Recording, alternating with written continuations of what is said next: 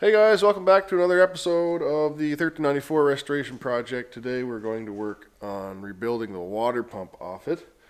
Uh, I'll turn the camera around and show you guys that. And of course I did bring my light down here. But anyway, this is the water pump. As you can see, I'm getting ready to pull off this pulley. Uh, this is another water pump. This is off of the 995. Uh, there's a slight difference between the two water pumps. Very slight difference and it's mostly got to do man pay attention where the camera's at here dummy. It's mostly got to do with uh, these outlets here. So we're going to stick with the 1394 pump. I got a rebuild kit for it. So we're just going to pull this pulley off uh, first and then I don't know figure out what step the second is I guess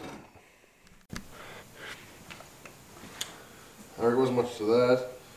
I uh, put the puller on it with a little bit of heat just for good measure and she came right off.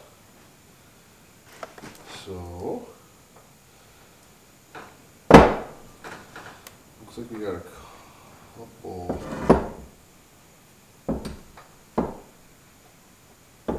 couple bolts holding it on. So we'll take those hold it together, I mean. So take those out. There's an O-ring back here. O-ring right here that's got to be removed too, not much of a hurry for that, I guess. Take those bolts out.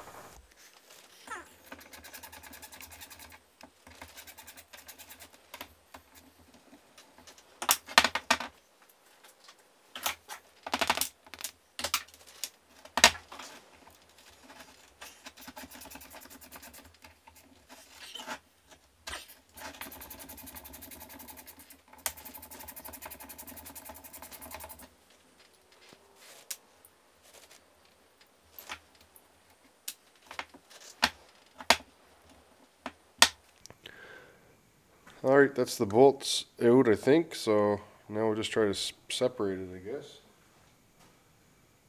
guess.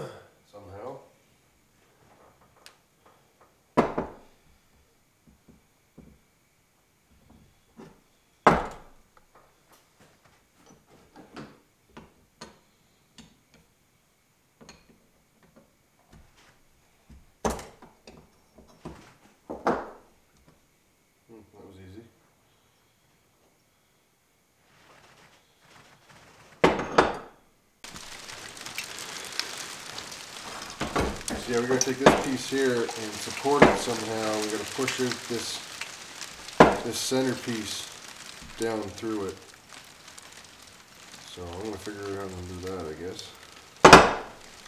Alright, so I was able to get the bearing and shaft also out of this housing. I just pounded on it. I didn't pound on it, it wasn't that bad.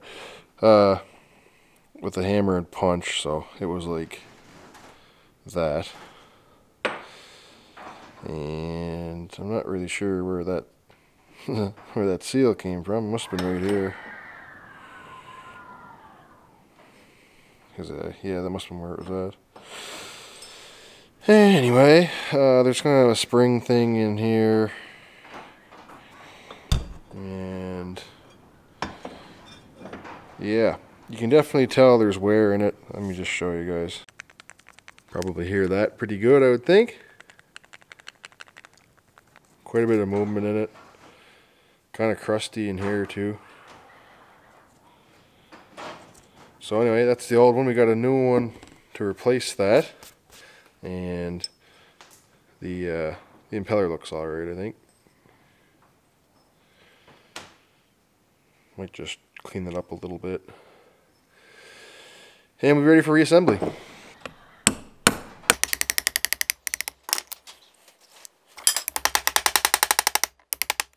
Alright, just for reference, maybe even for myself, the seal come out uh, this way. So it was like that.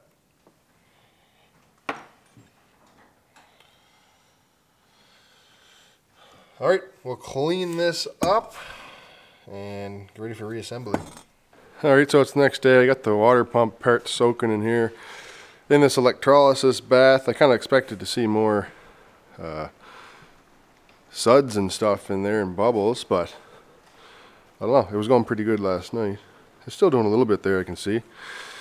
So anyway, we're going to take it out and uh, just have a look, see what kind of progress it's being made. Maybe, maybe clean up the anodes and put it back in. We'll see. Uh, so I'm using a, I think it's 10 amp 10 amp constant, 12 amp surge, pyramid power supply. Uh, in a five gallon bucket, we got some uh, super washing soda or whatever you call it in there for electrolyte and the anodes and one on either side as you can see and then this bar going across the top which all of our parts are connected to so I've had mixed results with battery chargers and I've had this thing for a long time for charging remote control car batteries back when I was younger. And I haven't really used it for a whole lot since, but I figured why not try it for this. It puts out 10 amp constant, so yeah, it seems to be working pretty good. It was bubbling up pretty nicely there yesterday evening, and you can still see it doing a little bit there. It's kind of dark. I should have brought my light over, but whatever. So yeah, we're going to pull that stuff out of there and check it over and see if we need to put it back in.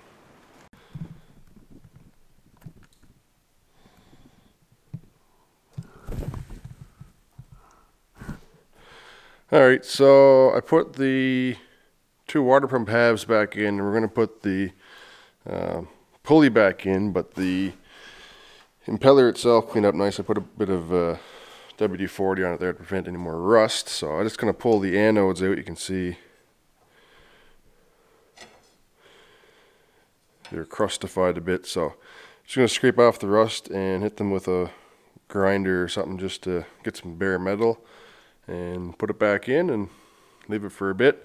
Uh, we'll probably pick up this video once I get the stuff good and clean. And uh, yeah, I'll move on to some other project now just for the time being, which you'll probably see in another video. So just gonna let it do its thing and uh, we'll meet you back here.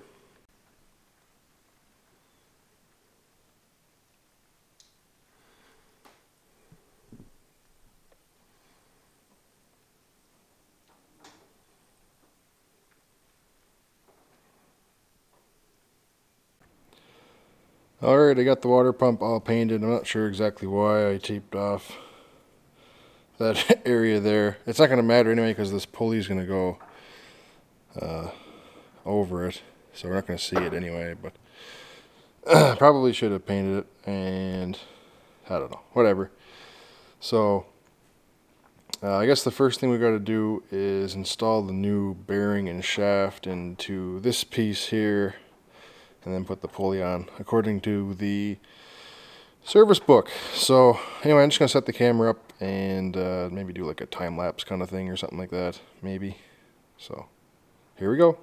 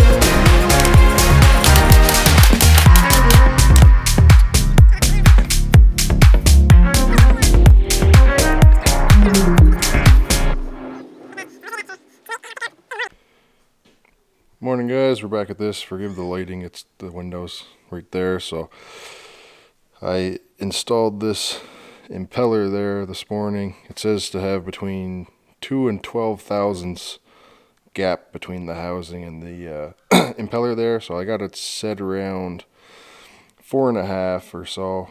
Uh, four slides under no problem. Five is a bit heavy, so we'll call it four and a half. It was a little bit tighter than I wanted, but that's just how it worked out when it uh, when it went down with the hammer.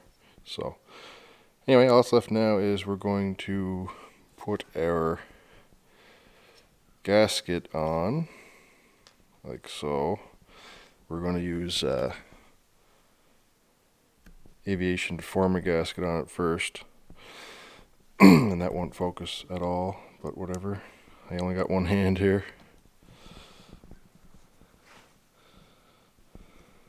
There we go. So we're going to put that on it first and then install the gasket and put the water pump halves back together and that'll be it for now until it goes on the engine. So the water pump's been sitting here just setting up uh, most of the day. I wanted to mention because I forgot before. Um, this thing only has two bolts in it that actually thread into the housing to hold it together, and they're both on the same side too. They're like, uh, it's not these two. I guess it's this this one here, and on the other side. So there's nothing really that holds it on this side other than when it's on the engine. So what I did was I just took a bunch of bolts, and these are thread. These are you know through holes. So I just put nuts on the other side of it, and just tighten it all down to uh, hold it together while it sets up. And uh, yeah, that should be good enough for now. And then we'll touch up the paint a little bit on it, uh, and it'll be ready to put on the engine when the time comes.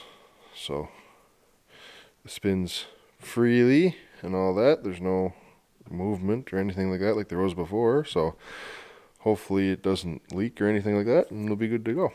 So hope you guys enjoyed the water pump rebuild video. Uh, just one piece at a time working at the tractor. Uh, hope to see you guys in the next video. Don't forget to leave a comment and hit the like button and subscribe if you haven't already so you don't miss any of the 1394 rebuild projects or if you're just here to for you know how to rebuild a water pump then hope you got some uh, I don't know useful information out of it it should apply to uh, any of the David Brown water pumps for these four cylinder engines and maybe for the other ones as well I'm not 100% sure on that but anyway thanks for watching